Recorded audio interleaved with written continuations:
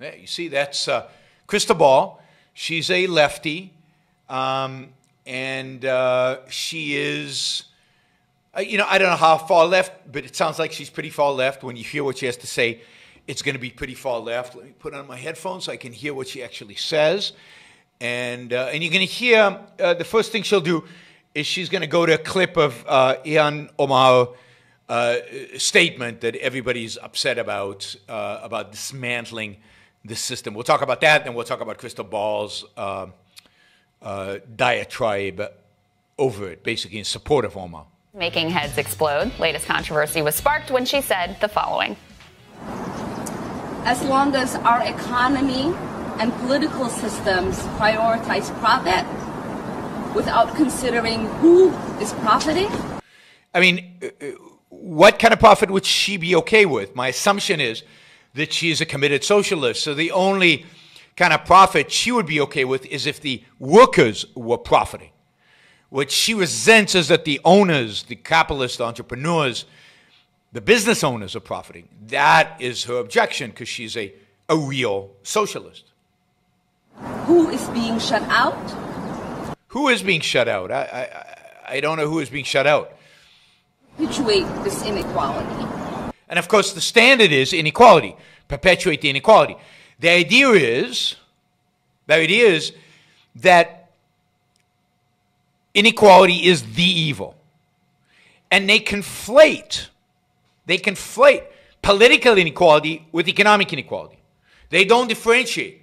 Because I'm all for equality, political equality. What I'm against, right? So I'm all for, what I'm against is economic equality. That's a disaster. And it's a huge violation of rights. And it's a huge violation of the idea of political equality. Economic equality necessitates political inequality. It necessitates taking from some and giving to others. It's necessitate not treating everybody the same in terms of rights, in terms of freedoms. But you see, they use inequality as a catch all. You might think they're talking about racial inequality before the law, but what they're really talking about is that plus economic inequality. And the only solution to economic inequality is, of course, socialism or egalitarianism or communism or some form of, of, of some form of egalitarianism. So we cannot stop at criminal justice system. We must begin the work of dismantling the whole system of oppression wherever we find it. Now, what is oppression? Now, note again equivocation, right? I'm all for dismantling any system that oppresses people in a sense of physical oppression, coerced oppression, or just irrational discrimination. But that's not what she's talking about. She's talking about oppression of the workers, oppression of economic oppression. So she's talking about in economic inequality, which is the product of economic, quote, oppression. She's talking about capitalism as being a system of oppression. Inherent in capitalism is oppression, oppression of the workers. And while the workers get paid a salary, the whole complaint that the Marxists have is that the owner of the business makes a profit on their salary. The owner of the business pays them less than what they produce. Well, of course, the owner of the business has to provide them with machinery, with rent, with a risk free salary. He has to provide them with a market. He has to provide them with the vision, the organization, the management, everything that goes into building a business.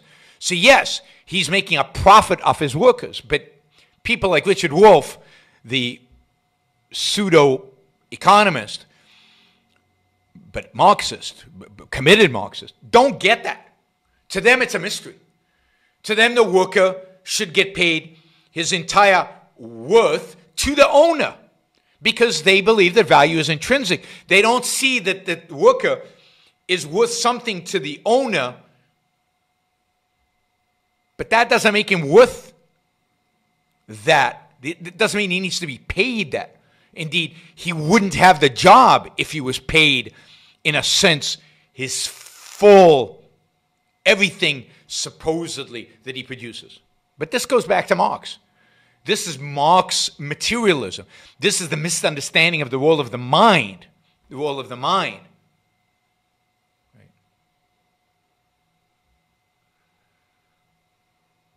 So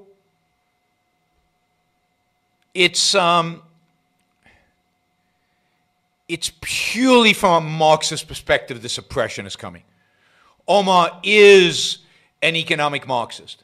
She is, when she talks about uh, dismantling the whole system of oppression, what she's talking about is dismantling whatever remnants of capitalism are left.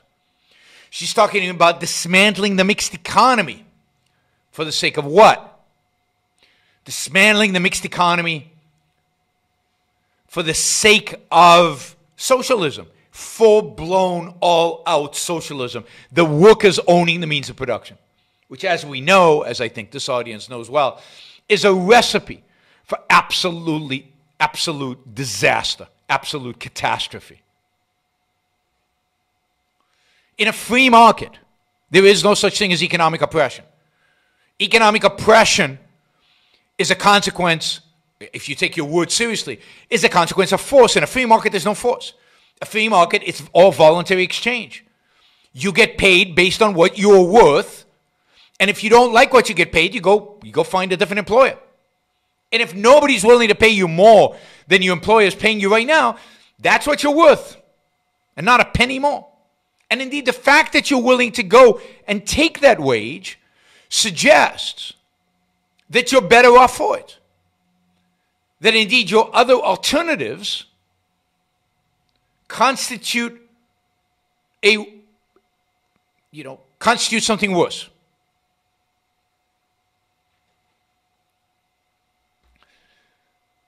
No, economics is form of imperialism. Matthew, you know, go read some real economics. Marxism is not economics. Marxism is a, politi- a bogus political philosophy. Marx was a lousy economist. Almost everything he ever did economic wise has been proved wrong, completely, absolutely. And uh, you you got to start over. You got to start over your thinking. We've got a Marxist here on the on the uh, thing. Yeah, Africa was rich. Africa was rich before China got there, and China is exploiting them. Of course, Africa was rich before the imperialists came and stole all their wealth. Give me a break. Africa's always been poor. The world is not a zero sum game. The world is not about exploitation. The world is about win win relationships, building, making, producing, expanding wealth.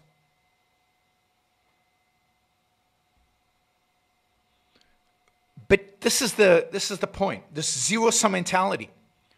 This idea that economics is exploitation, that capitalism is exploitation, that capitalism is systemic oppression you can say Matthew's a dummy, as, as Frank does, but this is the dominant view out there.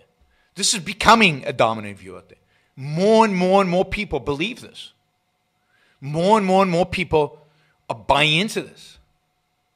More and more and more policy is going to be based on this. And this is, again, left and right. Tucker Carlson, to some extent, believes this. Finance is oppressive, private equity is destructive. Trade is zero sum. The President of the United States believes that. Marx was a Kantian. Yes, he was. So, the, these notions, these Marxist notions of economics, have seen a real, you know, real, I guess, comeback. They're all over the place. I see them everywhere. And it truly is scary. Somebody says, no, Marx was really a Hegelian. Yeah, Marx is a Hegelian, but Hegel is a Kantian. So they're all Kantians in the end. That whole tradition of German philosophy is Kantian. But yes, uh, Marx is directly impacted by Hegel. His whole construction, his whole way he constructs his the- theories is, is Hegelian. All right, so it's really scary how ideas that have been refuted over and over and over again over the last, what, 12, 14 decades? Since the 1880s? Or even before that, since Adam Smith. That ideas that have been refuted in economics over and over and over again keep coming back. Keep coming back. And that's Kant. That's saying reality doesn't, you know, we don't know what reality is. In a sense, in a deep sense, we make it up. So reality doesn't matter. Facts don't matter. What matters is your perception at this point in time. And given that our university professors have been leftists for 100 years, over 100 years, I guess it doesn't really, isn't really that surprising that Marxism keeps rearing its ugly head every few, every few decades, only to be slapped down by reality. But in the meantime, it does massive amounts of damage to the world. There's, there's over the last 120 years, you know, uh, nothing has been more damaging, nothing has been more destructive than Marxist ideology. It, it enslaved a big portion, what a significant, a majority of the human race for, for, for decades. And of course, remember, even the Nazis were national socialists.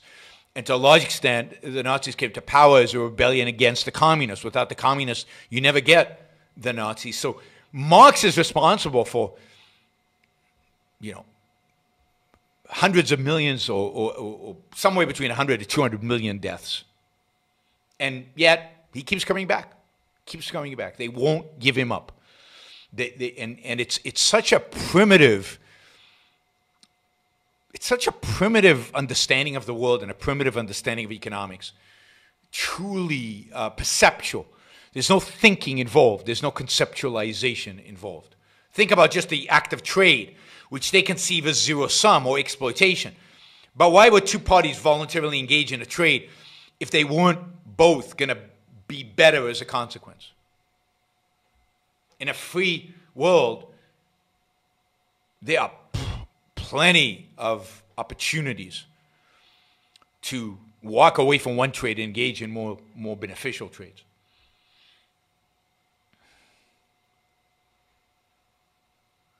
All right, let's see. Let's uh, okay. So so we're not gonna talk about Crystal, Crystal Ball. I don't know who she is, but I guess she's a she's a somewhat known leftist. Um, and uh, let's see what she has to say about Omar's statement. So, for some reason, this caused RNC research teams, Republican politicians, and reactionary outlets like the Daily Caller to utterly melt down. Marsha Blackburn tweeted Ilhan Omar took an oath to defend and protect the Constitution, not shred it. Omar and her Marxist comrades are a threat to our democracy. She should resign. Well, I mean, there's a certain sense in which uh, that is true, though not really. I mean, she wants to take the mixed economy further down the road to socialism, where we're heading anyway. Uh, she just wants to accelerate the process. She is a Marxist. She is a socialist. I don't know why that's controversial. That seems obvious. And, and, and Marxism and socialism are anathema to the American Constitution and to the principles on which this country was founded. But of course, it's, it's kind of funny coming from mixed economy Republicans to argue this and to argue that she should resign when my view is all of them should resign. Democrats, Republicans, they should all be out of there because none of them understand what this country is really about, what the true principles of, the, of this country. And, and, and as I said, I'm the one who really wants to dismantle the whole system. I want to bring about real capitalism. I want to get rid of all government intervention in the economy. All intervention in the economy needs to be done, gone. We need real capitalism in this country. Only then, only then will we be truly free. Only then, to use their terminology, will oppression end in America. Indeed, racism, the cure for racism, is individualism and capitalism. There's almost no political problem in the world out there. There is no political problem in the world out there. That capitalism is not the solution for it.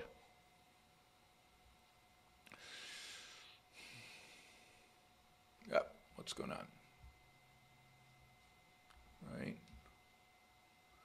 What happened to my mouse? What brave patriots will stand with Marsha Blackburn in defense of our systems of oppression? It's all foolish, of course, but I wanted to actually use this opening of right wing mania to dig into Congresswoman Omar's comments because, of course, she Good. is 1,000% correct in her assessment. 1000% correct. So uh, Ball is a Marxist too. Well, it's good to know. And as we've watched the COVID pandemic and millions lose their jobs and their health care and the stock market soar, as we've watched anguished protesters Know that this is part of the problem, right? What she's identifying is something that is truly troubling and something that is a phenomenon of the mixed economy. On the one hand, we've seen millions of people lose their jobs, businesses shutter. She won't mention businesses because she's anti business. She's anti private businesses, right? So she won't mention the business owners that have lost their income, that have lost their businesses, that have laid off their people. She'll only mention the workers because that's all she can conceptualize. It's gonna, all she can uh, recreate.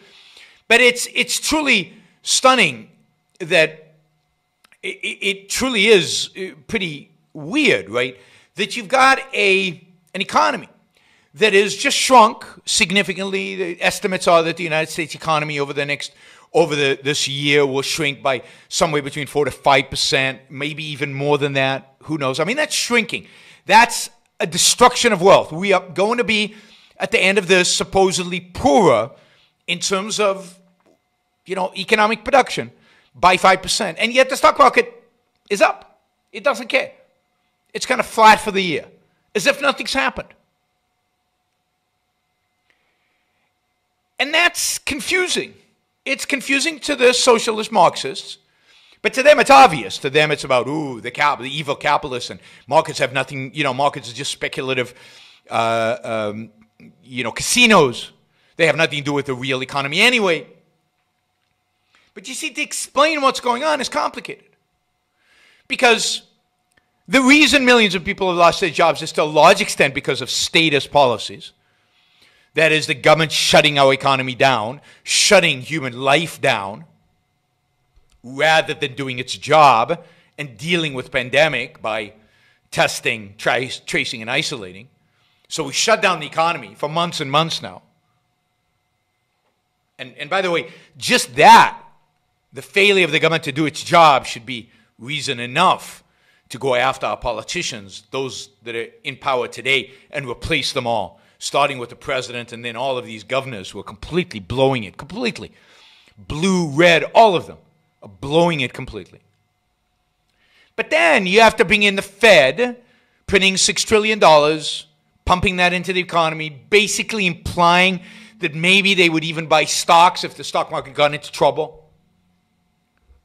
buying bonds, subsidizing zombie companies. That's not capitalism. So, yes, the world as it is today is nuts. It's insane what's going on out there. It really does look like it doesn't make any sense to the common person. I'm not surprised. Crystal seems like, you know, nice lady, just she's very confused. But it makes sense that you would be confused. It's not easy unless you're an economist, unless you studied economics. Then it's not easy to figure out what exactly is going on out there.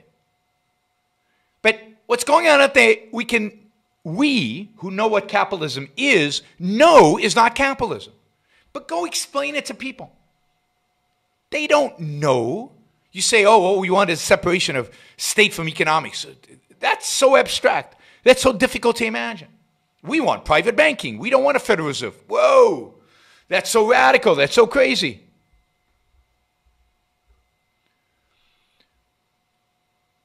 So, people, what they see today looks like exploitation.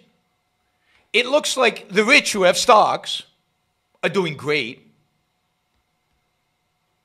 and the rest of the economy and everybody else is getting crushed. And again, there is truth to that because the powers to be are making that happen. They're crushing the economy, they're crushing workers, and they're letting, the, in a sense, there's an implicit subsidy for the stock market. But that's cronyism, that's statism, that's socialism. That's not capitalism causing all this. And you see, you have to unpackage all these things because otherwise, people come to the wrong conclusions. And it's hard to blame them for coming to the wrong conclusions, particularly when nobody out there, nobody out there is actually educating them. Nobody out there is actually telling them the truth about the world, about what's going on, about who's responsible, and about what the solutions are. You know, you've got a world where the alternatives are, you know, Ilhan Omar and Donald Trump. It's a confusing world. Not to me, not to us. We know exactly what's going on. take to the streets and peered over the precipice of utter societal breakdown. If you aren't thinking that a total dismantling is not only the right course, but the most realistic, I'm, I, I believe it's the right course. It's just not the kind of course you would like. Yeah, I'd like to see regulations go to zero. I'd like to see taxes get flat with no deductions or maybe just, just consumption taxes. I'd like to see subsidies go to zero. I'd ultimately like to see welfare and Social Security, Medicare go to zero. I'd like to see the total, complete, utter, unequivocal privatization of the healthcare system. And if we did that, if we did that, this COVID 19 would have been easy to deal with. That's the kind of dismantling of the system I think is necessary right now. But to take everything that doesn't work welfare, socialized medicine, government involvement in finance, call it the Fed, government involvement in the economy, call it regulations and controls, and double up on it because it hasn't worked a little bit, so maybe it'll work if we do it all the time, constantly.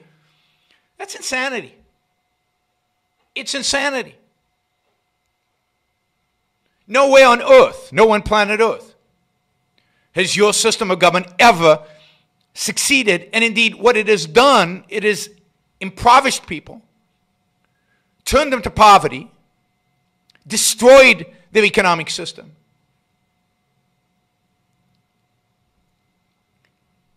And in the most radical or most extreme cases, resulted in the deaths of tens of millions of people. That's the system you want to recreate. I mean, this is again the unbelievable nature of the left.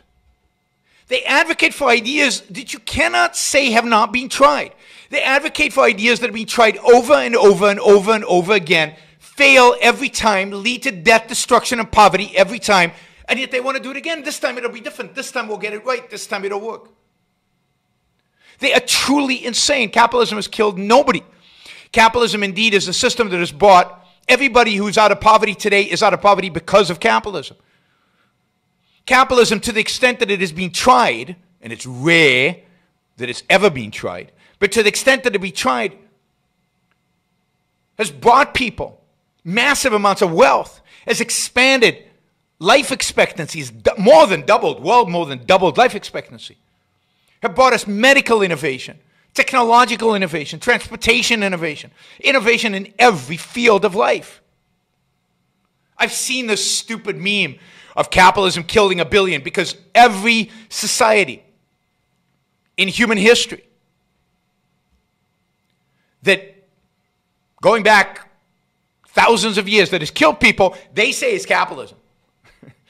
They reinvent the word, they redefine it, they make it up. But capitalism is a very particular system. You guys should actually read your Karl Marx. Karl Marx, at least, he was wrong on almost everything, but at least he got what capitalism contributed. If you read what about capitalism and, and, and how capitalism raised the standard of living, how capitalism benefited mankind, indeed, Karl Marx believed you had to go through a period of capitalism to break the feudal grip. But he didn't think that a thousand years ago we had capitalism. he says capitalism is great until you run out of other people, other people's labor. I mean, that is the dumbest thing I've ever heard. Oh my God! What happens when you run out of people's uh, other people's labor? You build robots. Give me a frigging break.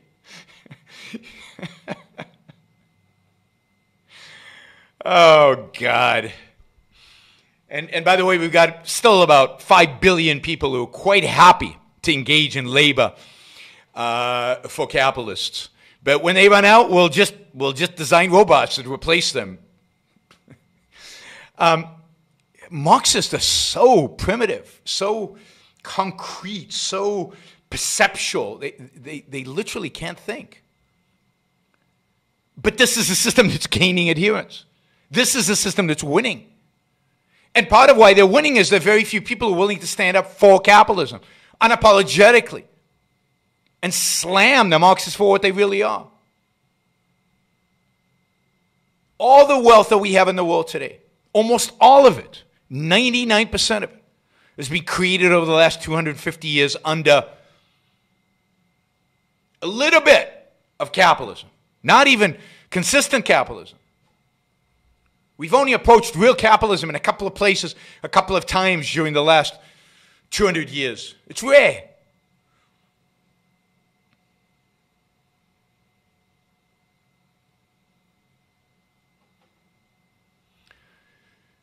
But we haven't defended it. We haven't been passionate in our defense. So these really superficial ideas keep bubbling up to the surface over and over again. All right, let's go back to Crystal. Practical choice to get out of this? I don't know where you've been, but I can probably guess your class status. So the practical choice to get out of this is socialism. And again, socialism, the system that only creates poverty, only creates destruction, only creates oppression, only creates devastation. That's the practical means of getting out of this. And notice that she says she can guess your class status. Because according to Marx, you are determined by your class. Marx is an anti free will determinist. He believes that your ideas, your character, who you are, and what you are is determined by the class you belong to. You, you don't choose. You don't choose your ideas. Your ideas choose you based on what class you're born to. In that sense, Marx is just like the racists who believe that your ideas come from the color of your skin or for your race. Now, of course, Marx was also a racist. He was certainly an anti Semite. And if you're interested in Marx the anti Semite, I've, got a, I've got a talk that you can find online. Just do anti capitalism, anti Semitism, Yaron Brook. You'll find my talk. And I, I give you quotes from Marx on his anti Semitism. But yeah, once you're a determinist, once you're a determinist, then it's inevitable you're going to be either a Marx type of class determinist or racist or both? What we need today, what I call the new intellectual, would be any man or woman who is willing to think. Meaning, any man or woman who knows that man's life must be guided by reason, by the intellect, not by feelings, wishes, whims, or mystic revelations. Any man or woman who values his life and who does not want to give in to today's cult of despair, cynicism, and impotence, and does not intend to give up the world to the dark ages and to the rule of the collectivist brute. Using the super chat, and I noticed yesterday when I appealed for uh, support for the show, many of you stepped forward and actually uh, supported the show for the first time. So I'll do it again. Maybe we'll get some more today. Um, if you like what you're hearing, if you appreciate what I'm doing, then I appreciate your support. Uh, those of you who don't yet support the show, please take this opportunity. Go to yaronbrookshow.com slash support or go to subscribestar.com, Show, and, um, and, and make a kind of a monthly contribution uh, to keep this uh, to keep this going. I'm not sure when the next